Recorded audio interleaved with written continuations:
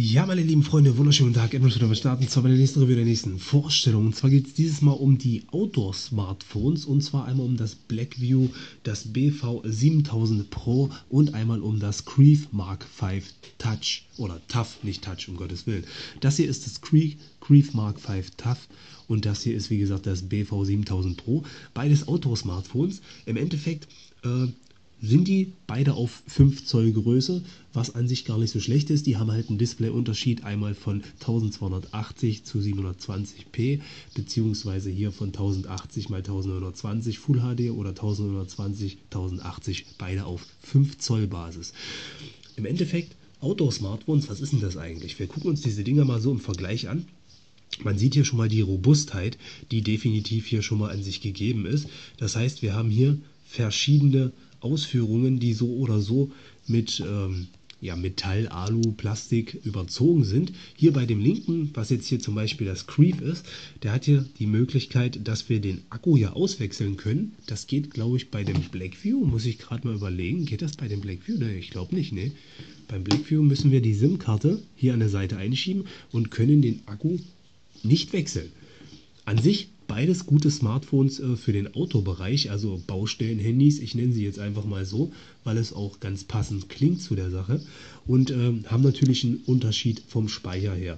Da haben wir hier einfach die Specifications. Wir gucken uns den ganzen Spaß jetzt hier einfach mal an. Und zwar haben wir jetzt hier einmal die Möglichkeit, die Daten direkt nochmal zu sehen von dem Creve Mark V. Die habe ich jetzt hier einfach mal über Amazon direkt rausgepickt. Und zwar haben wir hier die 1280 x 720p. Ich habe das Handy am Einzelnen schon mal vorgestellt. Hat den Prozessor MTK 6735, 1 GHz Quad-Core mit 2 GB RAM, was an sich schon wirklich ordentlich ist, 16 GB ROM, davon sind natürlich nicht alle nutzbar, eine 13 Megapixel Hauptcam und eine 5 Megapixel Frontcam mit 4700 mAh, Bluetooth, GPS, FM Radio, Android 6, Doppel-SIM, das ist schon mal ganz wichtig. Dual-SIM ist für mich immer so ein Kriterium. Da könnte man auf jeden Fall dann einmal die Arbeitsnummer reinpacken und natürlich auf der anderen Seite auch die Privatnummer. IP65. Das ganze Ding kostet 149 Euro gerade zurzeit. Ich glaube, wo ich mir das schon mal angeschaut habe, da war es schon mal etwas teurer. Aber soweit, so gut ist das ja nicht schlecht. So, wir gucken mal ganz kurz. Wie gesagt, das ist das Creve Mark V Tough. Wir gehen mal direkt in die Beschreibung rein, dann muss ich das hier wenigstens nicht alles auswendig runterlabern und wir schauen uns das Ganze nochmal zusammen an. Das Ding hat hier zum Beispiel eine extrem große Batterie mit 4700 mAh, was wirklich eine ganze Menge ist, wenn es denn so stimmt. Ich wollte das sowieso nochmal testen. Quad-Core ist ja heutzutage auf jeden Fall das Minimum, ansonsten gibt es ja Octa-Core oder Deca-Core, was 8 oder 10 Kernprozessoren so an sich sind.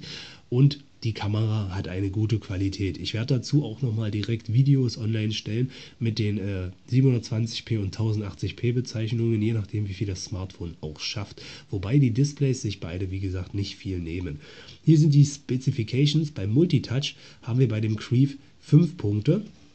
Kann ich gleich vorwegnehmen. Hier habe ich es letztens erst getestet. Das hat 10 Touch-Funktionen. Ich meine, ich weiß gar nicht. Ich habe noch nie mit 10 Fingern, außer bei diesem Antutu Benchmark-Test, habe ich noch nie mit 10 Fingern auf dem Smartphone rumgehämmert, weil es einfach auf, auf 5 Zoll viel zu wenig Platz.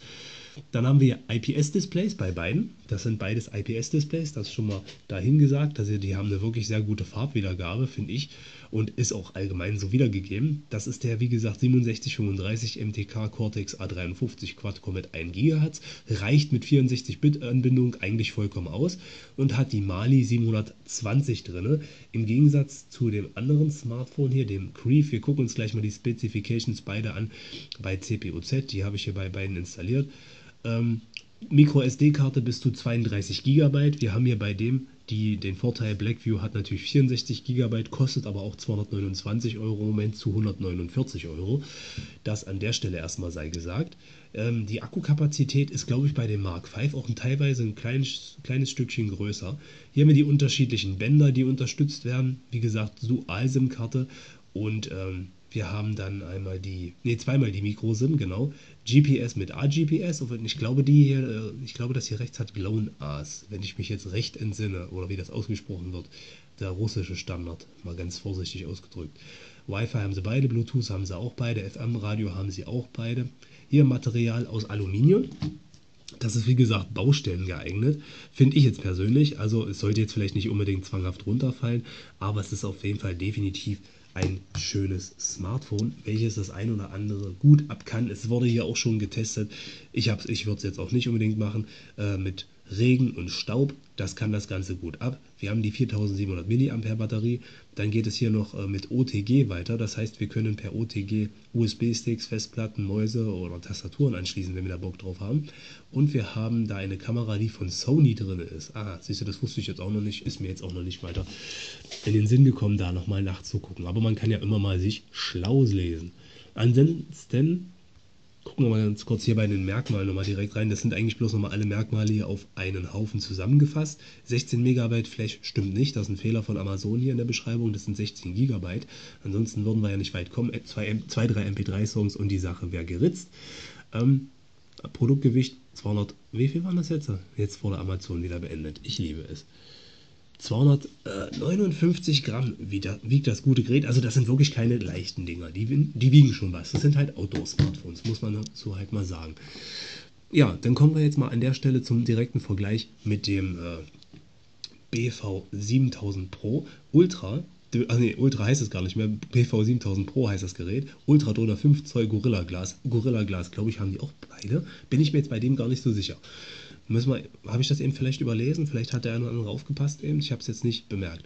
Der hat auf jeden Fall 4 GB RAM, 2 GB RAM, 720p Display, 1080p Display. Also schon mal der Unterschied gegeben, auch von der Preis-Leistung her, wenn man das so will. Staubdicht Outdoor-Smartphone mit Octa-Core, Quad-Core mit 1 GHz, Octa-Core-Prozessor, äh, 13 Megapixel Kamera so an sich, GPS und Fingerabdrucksensor. Stimmt, das hat das Gerät hier hinten auch noch drauf. Ich werde die beiden hier gleich nochmal direkt nebeneinander halten. Da unten unter der Kamera ist der Fingerabdrucksensor. Wie gesagt, 229 Euro oder 230 Euro kostet der Spaß. Und dann gehen wir mal direkt weiter. Und wir sind sogar, das ist ein bisschen leicht, ja, tatsächlich, wenn ich jetzt so direkt anfasse, stimmt. Was hatte ich hier gesagt? Irgendwas mit 249 Gramm oder so. Auf jeden Fall sind wir jetzt hier ein bisschen leichter bei 229 oder so, habe ich glaube ich gerade gelesen. Das ist jetzt das neueste von Blackview. Und zwar äh, im Februar kam es raus mit 223 Gramm, also knapp 20 bis 30 Gramm Unterschied zwischen dem hier und dem hier. Allerdings ist auch der Akku etwas kleiner. Darum wird das Gewicht von der Sache her auch etwas weniger ausfallen. Hat auch Android 6.0. Allerdings hat es einen Quad-Core mit 1,5 GHz, der Cortex A53. Und insgesamt ist da ein Octa-Core, also der MT6750T. T für, steht für Turbo. Und dann geht das Ganze gut ab. IPS-Display mit 5 Zoll die Full HD Auflösung, Multitouch und wie gesagt 2 GB mehr RAM, also 4 GB RAM hat das Blackview, 2 GB RAM hat dieses ganz normale Creve Mark V TAF. Was haben wir sonst noch? Wir haben natürlich die internen Angaben. Wir haben hier 16 GB ROM bei dem Creve Mark V und äh, bei dem Blackview BV7000 Pro 64 GB ROM. Finde ich persönlich ziemlich geil. Plus nochmal Aufrüstung per Micro SD-Karte. Das heißt, da kann ordentlich was drauf gespeichert werden an Material. Auch wie gesagt, von dem Blackview werde ich nochmal direkt im Vergleich nochmal Videos machen. Äh, von der HD oder Full HD Kamera, je nachdem äh, in den Videoqualitäten mit Sprachansage, was gerade welche Qualität ist. Wir haben ja auch eine Lipo-Batterie drin mit 3500 mAh. Finde ich wieder ein bisschen witzig. Da baut man hier in dieses kleine 720p IPS-Display mit ähm, 1 GHz Quad-Core baut man 4005 oder 4700 mA ein und hier baut man bei dem Riesenflaggschiff mit Octa-Core-Prozessor an der Stelle dann nur 3500 mA ein. Das ist natürlich auch ein Witz, wobei der Platz ja hier gegeben wäre. Und man muss aber sagen, dass man hier den Akku nicht, also ich glaube zumindest, man, man kann ihn glaube ich nicht austauschen oder man müsste hier alle diese Schrauben hier ringsrum erstmal herausnehmen. Denke ich mir jetzt einfach mal. Ja gut, so, das war es an der Stelle schon mal. Wir haben ja Beschleunigungssensor, Kompass. Kompass ist noch ganz wichtig. Kompass funktioniert direkt, ist eine App vorinstalliert, dann kann man den Kompass direkt nutzen. Ja, ich schwenke hier zwischen weit und nah. Das macht das Objektiv so lange nicht mit vom Smartphone, aber ist klar. Okay, was haben wir sonst noch hier? Äh, Gorilla Glass 3 und Dual SIM, sagt er mir jetzt hier zum Beispiel, weil ich eigentlich der Meinung war, dass ich hier gelesen hatte, dass hier nur eine SIM-Karte reinkommt. Müssten wir mal schauen, wie wir das hier überhaupt rausbekommen. Da gibt es ja immer so einen Trick eigentlich bei. Hm. Müssen wir mal schauen. Also auf jeden Fall gucken wir uns jetzt die Geräte mal direkt so im Detail nochmal an. Unterschiede sind definitiv schon mal da, das ist schon mal ganz normal. Jetzt muss ich mal schauen, ich bin jetzt gerade hier, irgendwie muss man das Ding rausfummeln können. Wie, weiß ich allerdings auch noch nicht. Wir drücken einfach mal hier rein, dafür wird es glaube ich gut sein. Und dann kommt er raus und dann haben wir hier einen Haken, das ist echt witzig gemacht. Und dann gehen wir da rein und ziehen den, den Schlitten raus, so.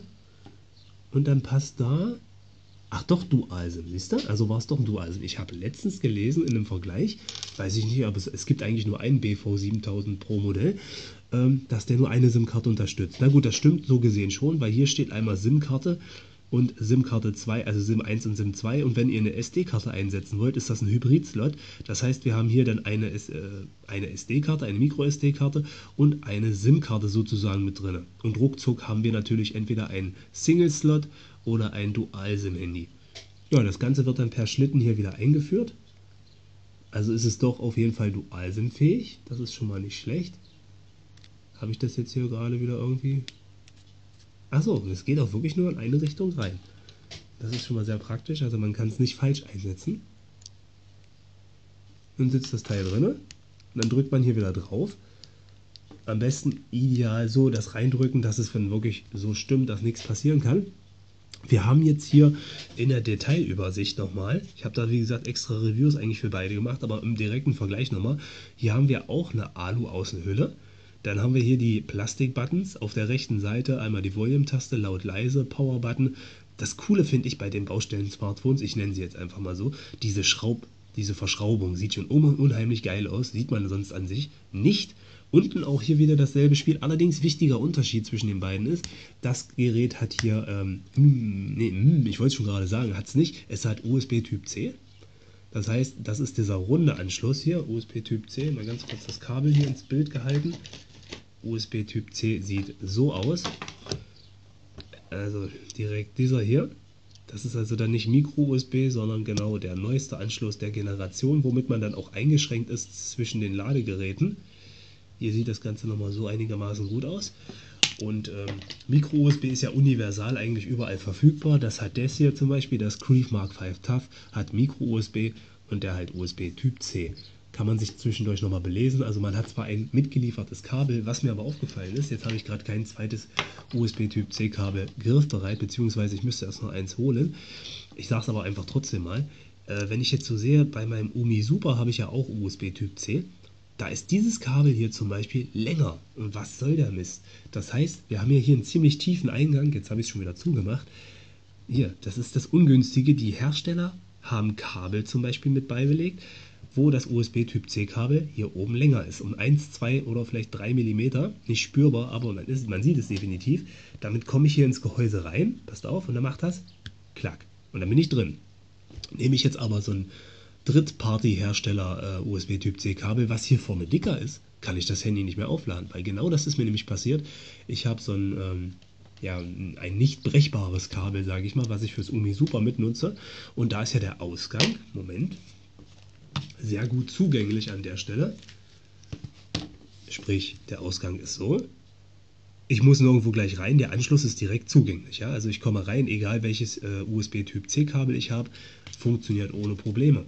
Wichtig hierbei ist bloß, dass das hier wahrscheinlich gar nicht möglich sein wird. Kaufst du dir hier also ein USB-Typ Typ C-Kabel, was zu dick ist, passt das hier nicht rein und du kannst dein Handy nur mit Originalkabel aufladen, so wie es der Hersteller ja eigentlich auch immer möchte.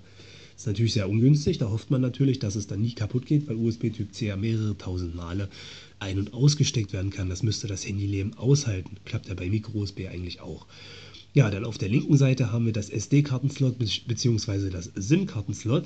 Ansonsten die Seite sieht genauso geil aus, hat hier so ein bisschen geriffelte Grifffläche, sodass man richtig gut zugreifen kann. Also es liegt optimal in der Hand, wie man hier so sieht. Man hat hier sogar noch einen Auslöser. Ich glaube, für die Fototaste kann man das Ganze entweder programmieren oder es ist sogar schon so programmiert. An der Oberseite der Kopfhörerausgang. Kopfhörerausgang ist Gott sei Dank so, nicht so weit drin wie der USB-Typ C-Stecker. Allerdings auch hier wird es schwierig. Hast du dicke äh, Eingänge beziehungsweise hast du einen dicken Klinkenstecker. Ich habe solche ganz, ja, was heißt alten, aber schon ältere Philips und Sennheiser Kopfhörer. Die passen da einfach nicht rein. Das ist ein Unding, weil das Ding äh, einen Adapter braucht dann wieder. Das heißt, du musst dir so einen Adapter mit Mikrofon und Kopfhörerstecker nach oben rausgehen lassen und dann erst die Kopfhörer reinbaumeln lassen. Das ist natürlich sehr ärgerlich. Das weiß man auch nicht vorher, muss ich sagen, bevor man sich das Ding kauft. Deswegen mache ich das Video jetzt hier einfach mal. Aber so sieht es nun mal aus. Ansonsten, wie gesagt, die Verarbeitung ziemlich geil. Hier hinten, also die, die, die Back-Ansicht, muss ich ganz ehrlich sagen, die fasziniert mich. Die habe ich ja jetzt auch direkt hier als Thumbnail genommen für die äh, Review von dem Blackview, weil ich finde die, also die Optik sieht einfach mal geil aus. Hinten hast du hier wirklich, das ist zwar Plastik, das ist, ja, es muss Plastik sein. Das hört man ja schon.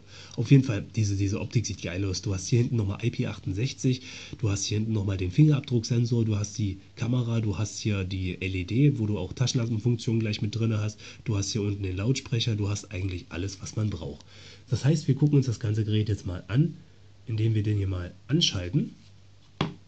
Ja, was ich auch geil finde, werdet ihr gleich sehen, von Natur aus, sage ich mal, out of the box, hat das ein geiles Hintergrundbild. Sieht so richtig schön edel aus, wenn man das Handy so anmacht.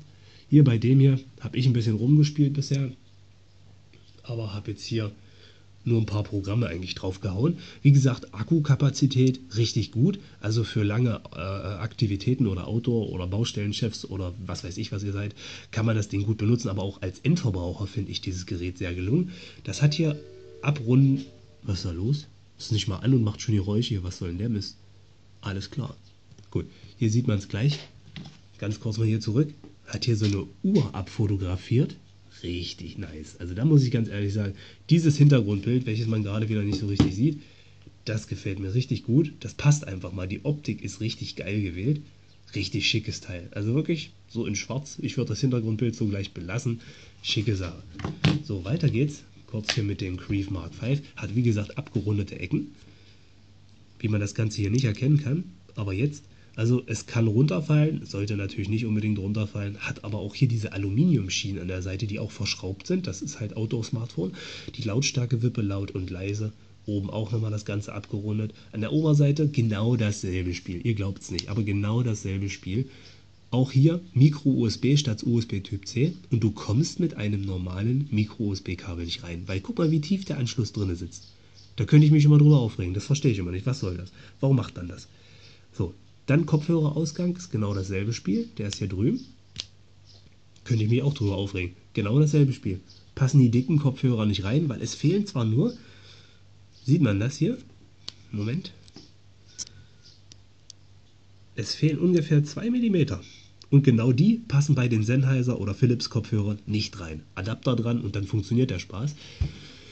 Verstehe ich nicht. Warum macht man die nicht, äh, GPS wollen wir noch nicht, äh, warum macht man die nicht ebenerdig? Das ist mir ein Rätsel, warum man das nicht macht. So an sich, wenn man ganz kurz Display aus, auf der rechten Seite haben wir dann natürlich den Power-Button. An der unteren Seite das Mikrofon, siehst du, habe ich ganz vergessen zu erwähnen, das sitzt da vorne. Nicht da, wo die Lampe ist, sondern da unten, da ist das Mikrofon, schön versteckt. Beim BV7000 Pro ist das hier an der Seite, ist aber eigentlich relativ geschützt, also was soll da passieren? Da kann eigentlich nichts passieren. Es geht wieder nicht scharf, was soll der Mist? Jetzt hat er es, da unten rechts, dieser kleine Punkt. So an sich, im Größenvergleich nehmen die beiden sich nichts, außer wie gesagt, dass das High-End-Modell leichter ist und das günstige 149 zu 230 Modell halt etwas schwerer. Aber ich finde es, ich weiß nicht, ich stehe da auch drauf, wenn die Smartphones schwer und groß sind. Das ist ja bei dem Umi Super genauso äh, der, der Witz. Wenn ich das Ding hier so vor mir sehe, also das ist auf jeden Fall, ist auf jeden Fall schwer. Aber ist mir scheißegal. Also kann das Handy ruhig 300, 400 Gramm wiegen, würde mich nicht stören, wenn es dann wenigstens auch seine 4, 5 Tage Akkulaufzeit hätte, was mit den beiden gar nicht so schlecht läuft. Hier mit dem hier, das habe ich schon mal eine ganze Weile im äh, Außenbereich, sage ich mal, testen können. Das ist wirklich eine sehr coole Sache. Und ähm, ja gut, hier allerdings ist nicht weiter schlimm. Ich habe hier die Schutzfolie zwar noch drauf, aber hier der erste Kratzer ist schon drauf. Ist ja nicht weiter schlimm. Das sollte hier nicht passieren, weil Gorilla Glass 3, das ist schon mal eine sehr coole Sache und somit eigentlich ziemlich geschützt. So, jetzt müssen wir mal ganz kurz schauen hier. CPU-Z, wie gesagt, hatte ich gesagt, müssten eigentlich bei beiden installiert sein, soweit ich weiß, weil ich mache eigentlich immer CPU-Z drauf, sodass man direkt einmal schauen kann im Vergleich. So, sehr gut. Dann brauche ich wenigstens nicht mehr automatisch scharf stellen. Automatisch manuell meinte ich. Auf jeden Fall jetzt hier links, wie gesagt, das Creve Mark V TAF, rechts das BV7000 Pro Blackview. Ähm, Display Wie gesagt, ich halte die eigentlich nebeneinander, sind, un, ja, sind gleich groß, sind ja 5 Zoll Modelle. Dann haben wir hier, wie man sehen kann, einmal links den MT6735 und hier den 6750, heißt die schnellere Variante mit 1,51 GHz und hier links mit 1 GHz. Quad-Core, Octa-Core. Das heißt, der Octa-Core, der läuft aber auch im Energiesparmodus mit 286 MHz bis 1,5 und der hier läuft mit 221 mit bis 988. Also müsste der sogar noch viel länger mit dem Akku halten, weil der Akku einmal größer ist und auf der anderen Seite natürlich auch, weil er weniger Kerne hat und weniger Rechenleistung im Standardtakt benötigt. So, wir sehen jetzt hier schon die beiden Rechenkerne. Hier stoppt er relativ schnell. Hier läuft meistens immer nur eine CPU bei 598 MHz. Das ist also ultra energiesparend. CPU-Load sehen wir bei beiden. Gucken wir mal ganz kurz. Passiert da was? Achso, müsste ich wahrscheinlich einmal so ziehen, einmal so ziehen. So, jetzt haben wir es. Geht der CPU-Load hoch. Links die Mali T720, hier Mali T860. An sich schon mal nicht schlecht. Äh, reicht auf, auf jeden Fall zum Zocken, reicht das ein bisschen aus nebenbei. Hier steht nochmal direkt drin, das ist Mark V, das BV 7000 Pro. Dann haben wir bei beiden, es steht ja immer nur statt 5 Zoll 4,59 Inches, also Zoll. Warum steht eigentlich 4,5 und niemals 5 Zoll? Verstehe ich auch nicht. Kann mir das vielleicht mal einer erklären? Ansonsten DPI, Dots per Inch. Die Screen-Sensitivität, obwohl beide 5 Zoll haben, hat das hier 480 dB und das hier 320. Das heißt, das hier ist so gesehen empfindlicher. Hier 4 GB RAM, wovon 3,8 angezeigt werden. Hier 2 GB RAM, wovon 1,9 angezeigt werden. Ansonsten interne Storage von den 64 GB sind 54 verfügbar. Ich habe jetzt noch 51 GB, die ich nutzen könnte. Habe schon ein paar Apps drauf gemacht. Hier wären 12,27 GB statt 16 drauf und 10,5 sind davon noch nutzbar. 1280, 720, 1120, 1080. Also soweit eine ziemlich coole Sache. Nicht ausgehen jetzt hier, was soll das? Ansonsten der Memory, der Available RAM, also Available RAM, wie spreche ich das aus? Der, der verfügbare RAM, Freunde, der ist an der Stelle hier bei beiden ziemlich gleich. Wie gesagt, bloß, dass das hier halt mehr hat. Android 6.0 bei beiden. API-Level, keine Ahnung, was das ist. Hier steht es mal drin, 5.3.2017 ist der Security-Patch. Hier ist vom September 2016. Seitdem kam auch kein Update mehr. Ich bin gespannt, ob da noch mal eins kommt. Beide sind nicht geroutet. Der läuft ja schon seit drei Tagen durchgehend. Ja. Daran sieht man, dass der Akku gut ist. Er ist immer noch bei 32% Und das war's dazu. Akkukapazität von der Voltzahl, klar, der ist ja bei 80% geladen, hat halt 4, 4 Volt immer noch weiterhin bei 26 Grad.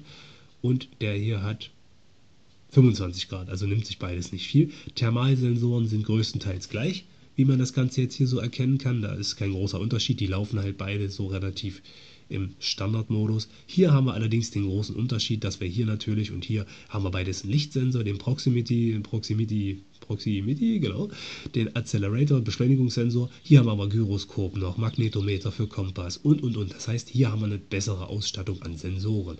Ja, das war es dazu. Hier kommt erstmal direkt die Werbung, aber nicht in eigener Sache.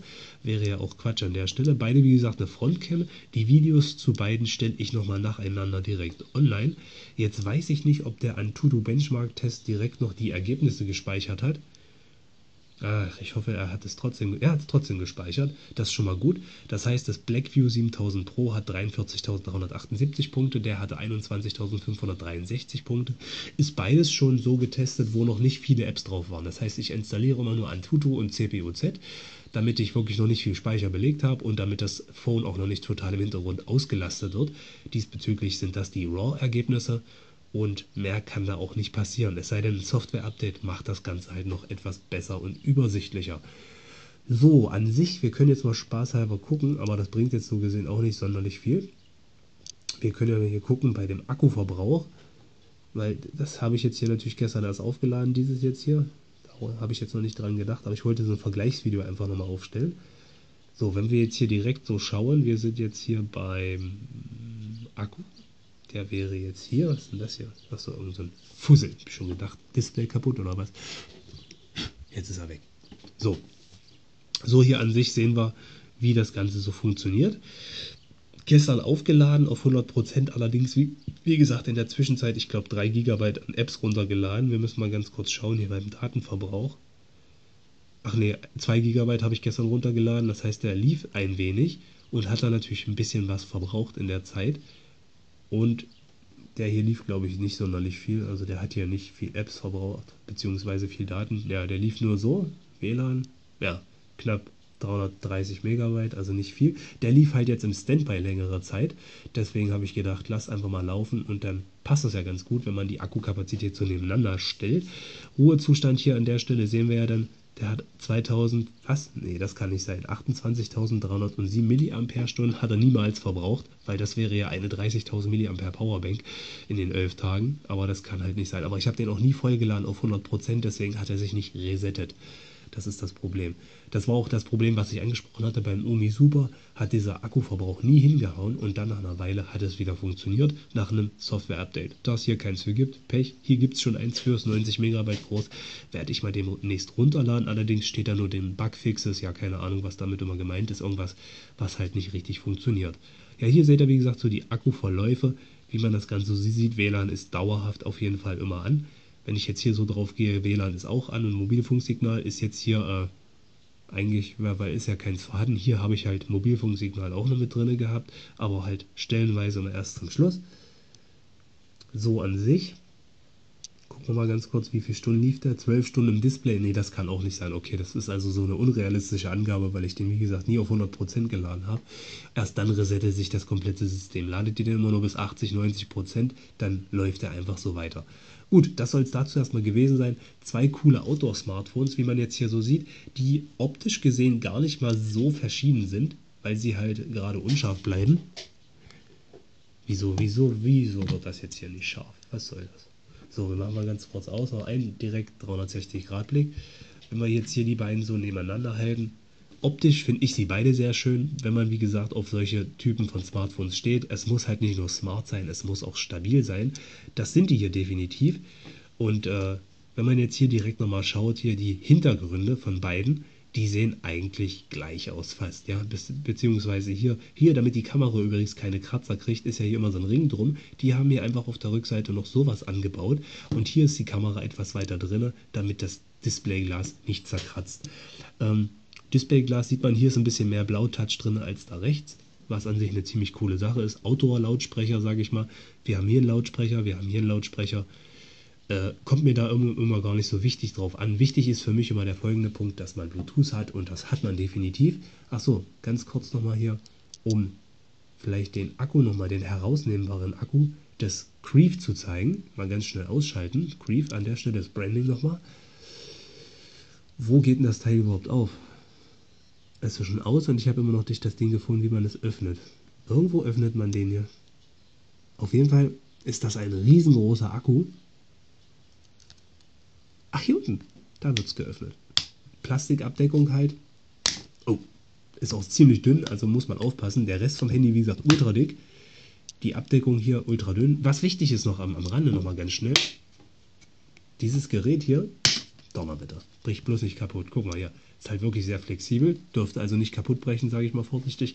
Kann man festschrauben. Es sind vier Schrauben mitgeliefert und die vier Schrauben, die haben hier oben, kommen da rein und dann sitzt das Backcover noch fester, weil warum? Zwecks der IP-Dichte haben wir hier einen Gummiverschluss hinten dran und wenn wir das Ganze mal vorsichtig abziehen, kommt dann drunter zutage, guten Morgen, eine Riesenbatterie.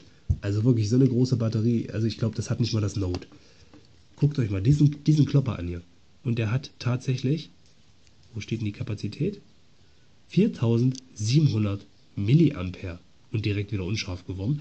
Also da muss ich ganz ehrlich sagen, alleine schon wegen diesem riesen Akku ist das eigentlich mein Favorit hier für längere Zeit, wenn man denn wirklich jetzt hier mal, äh, ja, äh, was soll ich sagen, jetzt hier online sein, sein möchte oder Videos gucken möchte, da sind schon fünf bis sieben Stunden locker drin.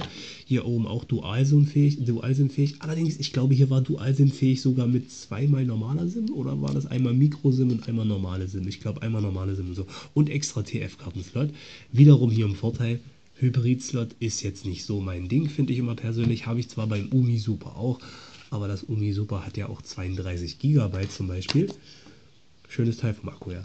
Und äh, damit kann man ganz gut leben. Das Apollo Light, welches ich mir auch schon mal angeschaut habe, ist an sich auch nicht schlecht, aber hat zum Beispiel auch nur beim Hybrid-Slot die Möglichkeit, ich glaube einmal, einmal Nano-SIM und einmal Micro-SIM. Da müsste ich wieder die SIM-Karten entweder neu bestellen, beziehungsweise zurechtstutzen selbstständig und da ist es mir immer zu schade, nicht, dass die SIM-Karte sich dann doch wieder verabschiedet. Hier ist es praktischer, hier passt die direkt große SIM-Karte rein. Hier, wie gesagt, Hybrid-Slot ist auch wieder schlecht, aber na gut, was will man machen? Aber dann lieber noch ein extra Micro-SD-Karten-Slot. Die Handys sind doch groß genug. Aber hier hat man halt das Problem, man geht halt nur von der Seite rein und hier kann ich direkt hinten drauf zugreifen.